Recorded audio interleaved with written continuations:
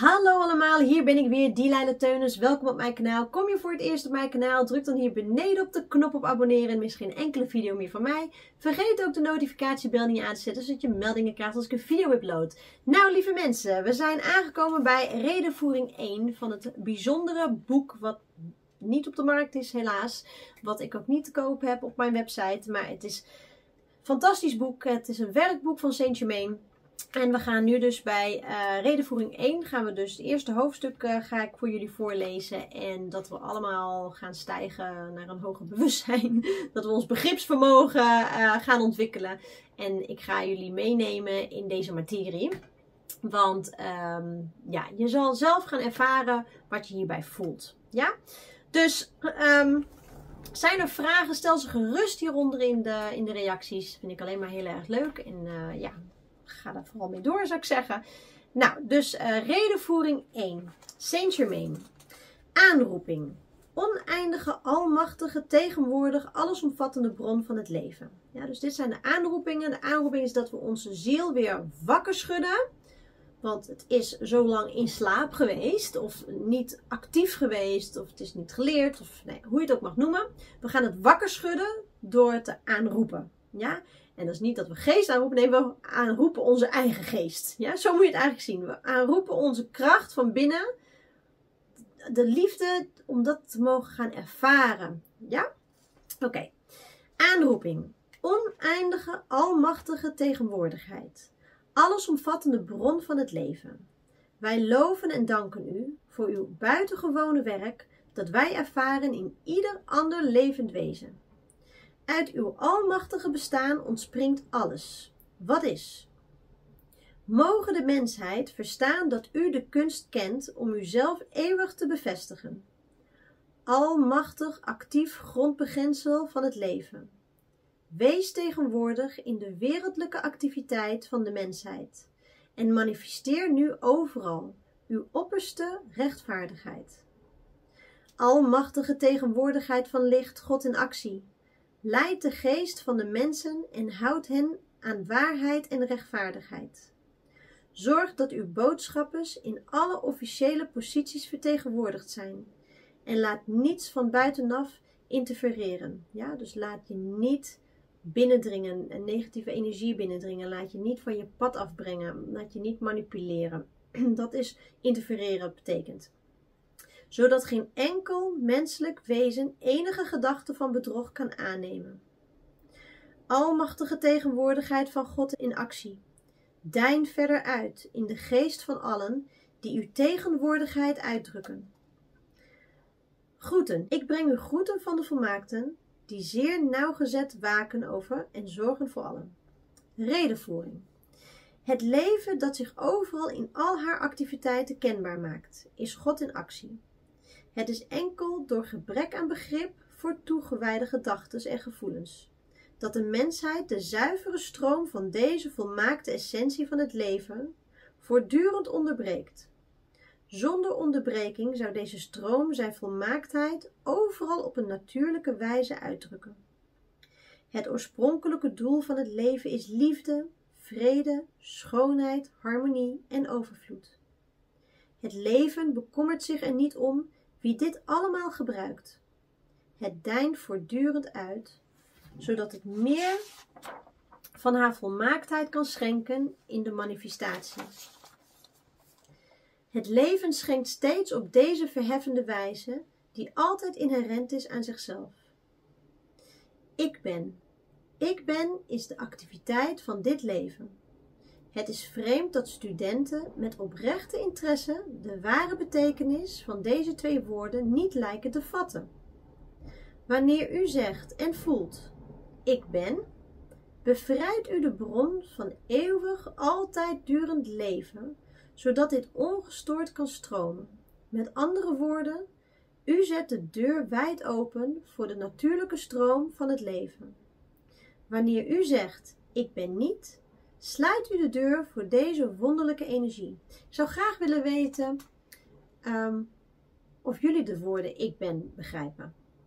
Stuur het vooral uh, in een reactie. Ik vind het interessant om te weten. Ik ben is de volle werking van God.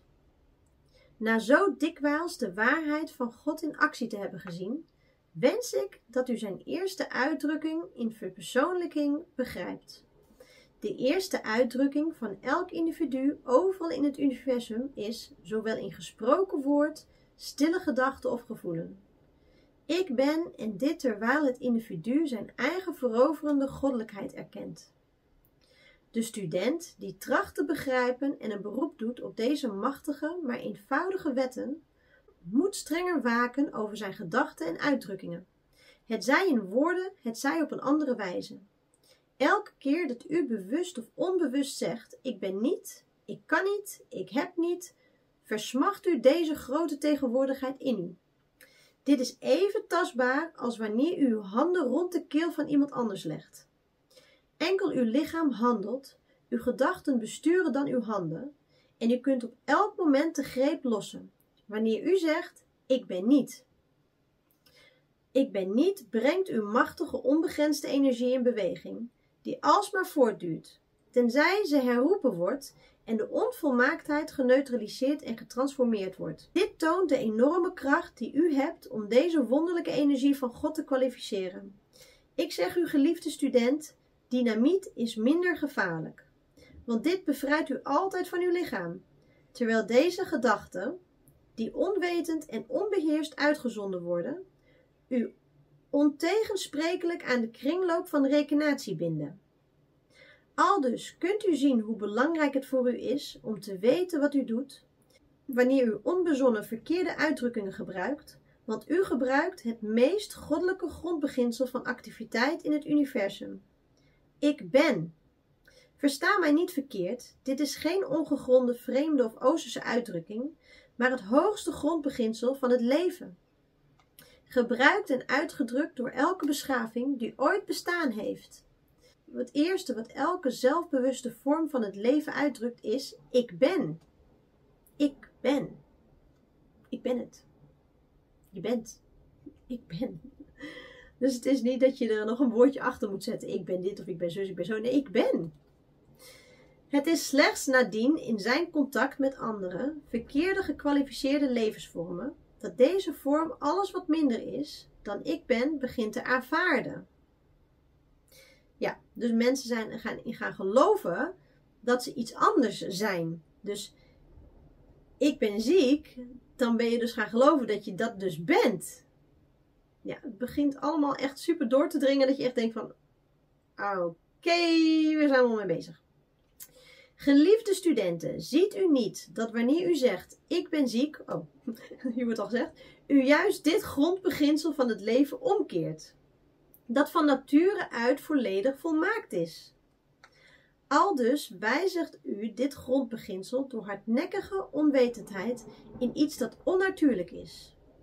Doorheen eeuwen van halstarring, onbegrip, heeft de mensheid haar eigen atmosfeer beladen met leugens en onwerkelijkheid. Het is onnodig u te vertellen dat wanneer u zegt: Ik ben ziek, dit een verachtelijke leugen is ten opzichte van uw goddelijkheid, die niet ziek kan zijn. Klinkt dit hard voor u? Dan zeg ik: denk hierover na en u zult zien wat voor een zegening en bevrijding dit voor u kan zijn. Ik zeg u, dierbare studenten, in Gods naam: stop het gebruik van. Stop het gebruik van deze verkeerde uitdrukkingen van uw goddelijkheid, want het is onomkomelijk voor u om vrijheid te verwerven zolang u dit blijft doen. Ik kan u hierover niet dikwijls spreken. Ja, dus dat betekent ook. Dus kijk, ik. Um, heel veel mensen voelen hiermee weerstand, omdat ze natuurlijk zo verankerd zijn in, in die ziekte of in dat wat ze voelen, dat je um, heel koppig kan zijn om dit te willen aanvaarden. Ja, dus dat jij een perfectie bent en in perfecte staat gemaakt bent. En dan zeggen mensen, ja, maar hoe zit het dan met mensen die, of kinderen die uh, anders geboren zijn? Nou ja, daar gaat natuurlijk heel veel van af. Kijk, de geest is altijd heel. Ja, de geest is heel. Daarom hebben sommige mensen ook fantoompijn. Hè? Dus als je dus bijvoorbeeld een been uh, eraf hebt of weet ik veel wat, dan kunnen mensen daar dus nog steeds pijn voelen. Dat betekent dat die geest daar nog steeds zit. Ja, die geest van die been, die zit daar nog steeds. We zijn altijd heel.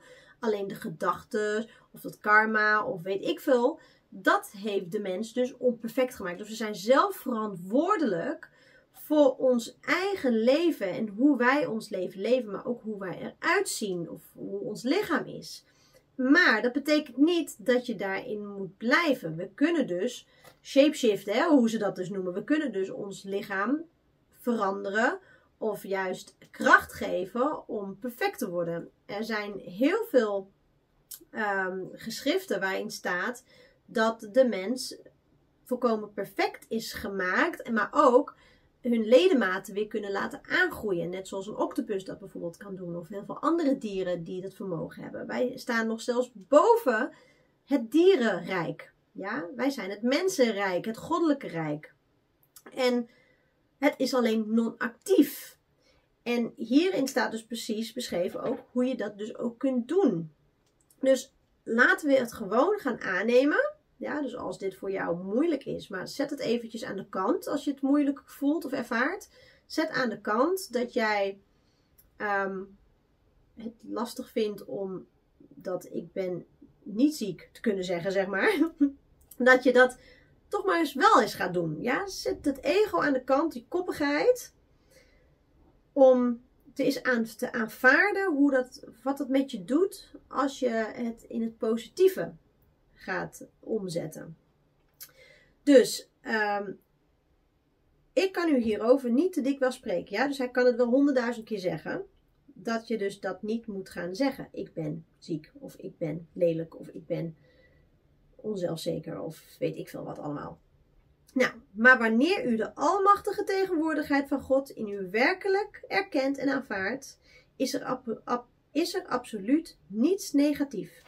Ik zeg u, stop ermee kracht te geven aan omstandigheden, mensen, plaatsen en zaken buiten u en in Gods naam. Elke keer dat u zichzelf hoort zeggen: Ik ben ziek, ik ben futloos, ik voel me niet goed. Keer dan deze fatale toestand onmiddellijk om in uw voordeel. Zeg dan in stilte met alle kracht in u: Ik ben. Dit omvat alle gezondheid, overvloed, volmaaktheid, vreugde, vrede en de kracht om de volmaaktheid in uzelf en overal elders te erkennen. Wanneer u denkt aan de uitdrukking ik ben, betekent dit dat u weet dat God in actie zich uitdrukt in uw leven. Laat u dan niet verder beheersen en begrenzen door onjuiste uitdrukkingen. Herinner u voortdurend ik leef, ik beweeg en mijn wezen en elke uitdrukking ervan manifesteren op ieder ogenblik Gods wilderige overvloed. Wanneer u zich steeds deze overwinnelijke tegenwoordigheid herinnert, houdt u de deur open voor de zuivere essentie en intelligentie om aldus deze wonderlijke volmaaktheid te verweven in uw persoonlijkheid. Dus in je menselijkheid, in jouw mens zijn, in jouw wezen. Hier, weten ze, hier hebben ze nog niet uh, dat met persoon en zo, dus dat moet u eventjes, uh, eventjes uh, niet zo ervaren. Hè? Het persoon is natuurlijk een product, maar zo, zo is het even niet geschreven natuurlijk. Hè? Dus gewoon ook vertaald door een Nederlandse vertaler die het nog met persoon uitdrukt. Ik smeek u, dierbaren, waar u ook bent, blijf deze verkeerde uitdrukkingen niet herhalen. Denkend dat u met een of andere toverformule het resultaat hiervan kunt ontlopen. Dit kan gewoonweg niet. Velen onder u weten dat de veehouders in het Westen hun dieren brandmerken om ze te herkennen. Mijn verlangen dat u de actieve tegenwoordigheid van God zou herkennen en bestendigen, is zo groot dat ik bijna een brandijzer verlang om de woorden ik ben onuitwisbaar in uw bewustzijn te branden. Zodat u niet kunt verzaken aan de erkenning, acceptatie en het benutten van deze almachtige, glorievolle tegenwoordigheid van God die u bent. Indien u op eender welk ogenblik iets ervaart dat niet volmaakt is, verklaar dan nadrukkelijk dat het niet goed is en dat u enkel God, die volmaakt is, in uw leven toelaat. Ja, dat zijn elke keer weer die invloeden. Hè? Dus die invloeden die jou continu weer in, die, dat oude programma willen gooien. In die negatieve energie. Of, hè, of, of laat maar zitten, het lukt niet. Dus dan ga je weer erin mee. Je wordt zo in, um, hoe zeg je dat? Verleid, eigenlijk een soort van. per ongeluk. Dus daar ga je steeds sterker in worden. Daarom zijn ook deze aanroepingen er, om je sterk te maken. Ehm, dat je dus niet meer uh, verleid wordt door dit negatieve systeem. Ja, dat is het. Dat is het gewoon. Je, je voelt het ook, hè? Het is gewoon een feit. Zolang u de verkeerde situaties aanvaardt, zult u er steeds in uw leven en in uw ervaring mee geconfronteerd worden. Beste student, het speelt geen rol of u deze waarheden gelooft en aanvaardt of niet. Want zij zijn de wet die door eeuwenlange ervaring bewezen is. U wordt met deze waarheden geconfronteerd voor uw bevrijding. Ontwaak en besef dat uw gedachten en gevoelens in het verleden de disharmonie van uw huidige leefwereld geschapen hebben. Sta op. Ik zeg u, sta op en ga mee naar de Vader. De ik ben, zodat u, zodat u vrij kunt zijn van deze beperkingen. Het enige in het universum dat u kan omhullen met beperkingen is de aanvaarding dat er iets anders bestaat dan de almachtige actieve tegenwoordigheid van God in u. De westerse wereld bedriegt zichzelf graag met de gedachte dat ze weigert de oude en oosterse tovenarijen te aanvaarden. Met andere woorden, het misbruik van de spirituele krachten.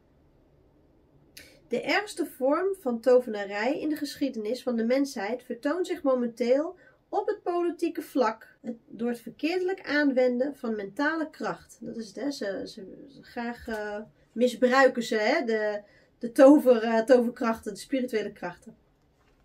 Indien dezezelfde huiveringwekkende mentale kracht in tegenovergestelde zin zou gebruikt worden, namelijk om te weten, er is enkel God in actie in elk mens die een officieel ambt uitoefent, zou de zender van deze positieve gedachte of waarheid niet enkel zelf bevrijd zijn, maar de hele politieke wereld zou vervuld zijn van vrijheid en gerechtigheid. Dan zouden wij een natuurlijke wereld ervaren, een wereld waarin God in actie alomtegenwoordig is. Het is vandaag zoals het ooit was in Egypte. Diegenen die de mentale kracht misbruiken, binden zichzelf aan de spiraal van disharmonie, leven na leven. Neem het standpunt in. Ik neem van niets of niemand iets aan over mezelf, behalve van God. En ik ben steeds toegewijd aan God. Het is nodig dat u de gewoonte aanneemt om innerlijk tot rust te komen. Ga drie of vier maal per dag zitten en breng uw denken tot rust. Dit zal u energie geven. Leer de energie in uw lichaam beheersen en controleren. Indien u rustgevende energie wil, wees dan rustig. Indien u activerende energie wil, wees dan actief. U moet, u moet iets betrachten, het voor ogen zien en het overstijgen. Er is geen andere weg. Dat is een hele goeie. Want inderdaad, um, hè, zegt ook tegen je, inderdaad tegen jezelf dat je dus niks van niets of niemand aanneemt over jezelf, dan behalve van je God. Dus wat ze al die tijd allemaal hebben uitge, uitgesproken hebben. Hè? Uh, dat je bang moet zijn om ziek te worden. Dat je uit moet kijken. Dat jij het virus bent. Of nou ja, maakt niet uit wat. Hè? Of um, wat ze op school alleen al zeggen. Dat je niet goed genoeg bent. Dat je leerachterstand hebt. Dat je zus, dat je zo. Of dat ze thuis misschien bij je zeggen. Uh, dat je niet goed luistert. Dat je het niet goed doet. Uh, weet ik het veel wat allemaal eigenlijk. En dat je dat bent gaan geloven. En inderdaad, als de politiek dus zo dit allemaal zou zeggen, man, dan zou de wereld al lang rijk allemaal zijn, ja, met liefde zijn, al lang een betere wereld zijn. Maar dat wordt natuurlijk niet verteld. Er wordt alleen maar discussies gevoerd, discussie, discussie, discussie. Wordt alleen maar haat en nijd, um, nou ja, uh, verdelen heers, continu. En dat er nog steeds armoede kan bestaan op deze planeet. Ja? Hoeveel wel niet aan goede doelen besteed is. Hoeveel miljarden er wel niet doorheen zijn gejaagd eigenlijk. Dan had de wereldbevolking al lang allemaal multimiljonair kunnen wezen. Ja? Of in ieder geval in overvloed kunnen leven. Ik denk ook dat er minder jacht naar geld zou zijn als iedereen gewoon met liefde zou, alles zou kunnen, kunnen, kunnen creëren wat ze zelf willen. Ja? Dus hieraan is al gewoon al een hele simpele reden, of een hele simpele uitleg, dat het systeem gewoon niet klopt voor degene die dat nog niet doorheeft. maar nou gaat het er vooral om dat we onszelf weer herpakken Ja, onze goddelijkheid. En dat we dus dit gaan overstijgen. Dat we eruit stappen.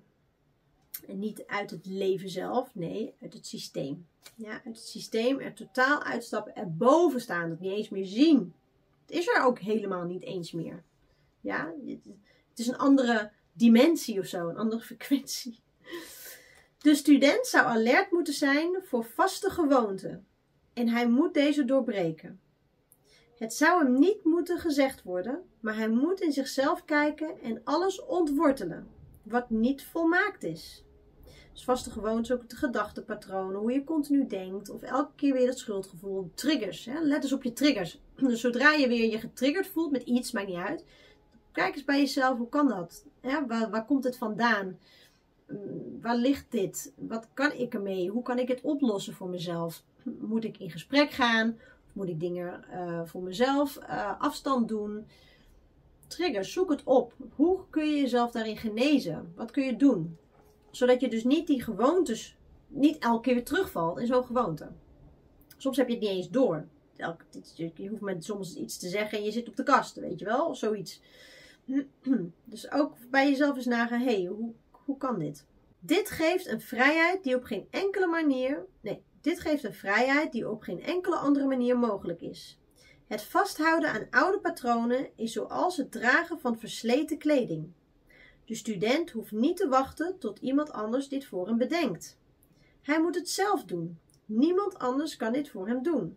In dit werk en onder deze straling wordt alles wat latend is in een persoon naar buiten gebracht om verteerd te worden. Let op dat u de aandacht niet fixeert op datgene wat u niet wil. Ja, dat gebeurt natuurlijk ook wel eens vaak. Hè? Dat je er zo mee bezig bent of dat je je aandacht daarin besteedt. Als iets is voorgevallen of iets is gebeurd. Dan besteed je er zoveel aandacht aan. Op een of andere manier is er toch nog een, iets heets of zo. iets vurigs. Wat, um, wat maar wil dat je die frustratie of pijn of trigger voelt. Weet je wel? Dat je er wel continu niet over uitgepraat raakt of zo. En er moet iets oplossends zijn. Dus we gaan eens even kijken wat we hier aan kunnen doen. Misschien staat het in het boek. Het is absurd zaken te blijven oproepen die niet gewerkt hebben. Ja, dat hebben we ook wel eens mensen. Als ze gefaald hebben, dan kunnen ze wel jaren er nog over hebben. Van had ik maar dit gedaan. Of had ik maar zus gedaan. Of uh, ik heb zo'n spijt van dat ik dat niet gedaan heb bijvoorbeeld. Of uh, een bedrijf wat bijvoorbeeld failliet is gegaan. Als ik het nou zo had gedaan. En toen had ik wel zoveel geld. En toen had ik wel die geluk. En toen had ik wel die liefde.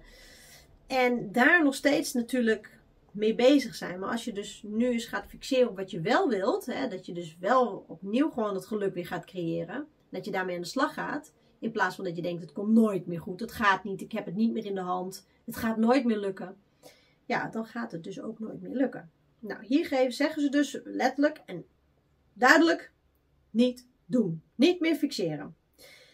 Dus het is absurd zaken te blijven oproepen die niet gewerkt hebben. Indien u zichzelf eeuwenlang beperkingen hebt opgelegd en u kunt uzelf nu door aandacht en inspanning in enkele jaren bevrijden, is het deze moeite dan niet waard? Is dit niet geweldig? Ja, precies. Dan zou je hier inspanning moeten voor doen om juist geluk te willen hebben. Dat is een mooiere inspanning als dat je je continu fixeert op negatieve energie. Of dat je een vervelende jeugd hebt gehad. Of dat allemaal zo vreselijk is geweest, weet je. Als je daar continu mee bezig blijft, dan, dan sluit je de deur voor het geluk voor de toekomst. Met veel humor iets loslaten werkt soms het snelst en het krachtigst. Zo ontstaat er een opgewekt en vreugdevol gevoel. Ja, en dat kan ook soms is, dat is, dat is het absoluut allerbelangrijkste. En dat is het ego wat je soms, ja, wat je soms dus tegenhoudt om gewoon eens dingen luchtig te gaan zien, weet je. Of, of, je, of dingen los te laten. En ja, gooi het ego vooral helemaal aan de kant en stel je erboven. Het gaat om dat jij je weer goed voelt. Dit bevrijdt energie, waardoor er dikwijls wonderbaarlijke zaken gebeuren. Als iemand zich wil toeleggen op de wet van vergeving, kan hij alle wantoestanden uit het verleden neutraliseren in de verterende vlam en vrij zijn. Wees ervan bewust dat de vlam de actieve tegenwoordigheid van God is, die alles neutraliseert. Gods vrijheid is hier in actie. Wanneer u iets constructiefs wilt doen, Doe het dan. Leg u erop toe. De vraag of u nu het gestelde doel bereikt of niet, zou helemaal niet in uw bewustzijn mogen opkomen. Zelfs wanneer studenten enkel iets intellectueel weten, zouden zij hun denkvermogen niet mogen toelaten telkens verkeerde toestanden op te roepen. Wanneer ze weten dat dit doemdenken hun succes hypnotikeert. Nou, precies. Ehm, het is de angst soms bij mensen ook om patronen los te laten. Omdat het zo'n voor hun een, een, een geloofwaardig iets is geweest, of dat ze in die ervaring zo hebben gezeten dat ze dat zo vasthouden, dat dat lijkt alsof het een veilige situatie is. het is alleen maar onveilig, want het is vol met ongeloof. In die wereld bestaat alleen maar iets wat niet goed is, zeg maar. Het kan elk moment van je afgepakt worden, je geluk of de liefde of je, weet ik veel, je successen of je jeugd. Hè? Want alles is vergankelijk. En het is een hele zware bewustzijnstoestand. Dat is het eigenlijk. En het is in het begin echt jezelf dwingen. Ja, dus jezelf opdrachten geven, zoals het hier ook zo mooi staat. Ehm, commando's geven aan jezelf om dit te laten. Ja, dus om je vooral te fixeren op wat je wel wilt. Nee, ik ga nu denken aan dat mooie eiland waar ik wil zitten. Met dat prachtige zandstrand en die mooie zee. Daaraan denken. Ja?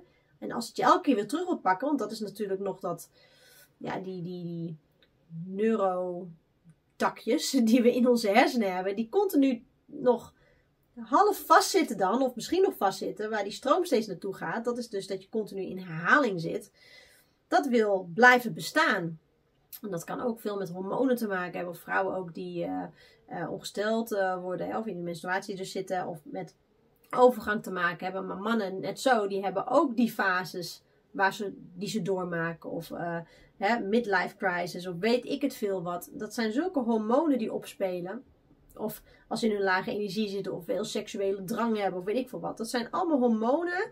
Die dan op dat moment de baas van jou die op dat moment de baas van jou willen zijn. En dat zijn die vertakkingen, dat continu dat herhalingsproces, daar heb je al die tijd in geloofd. Daar heb je geen sturing aan gegeven. Dat is maar gewoon gevormd in, uh, in chaotische toestanden, zonder dat je het wist hoe het zich gevormd heeft. Dus allemaal invloeden van buitenaf.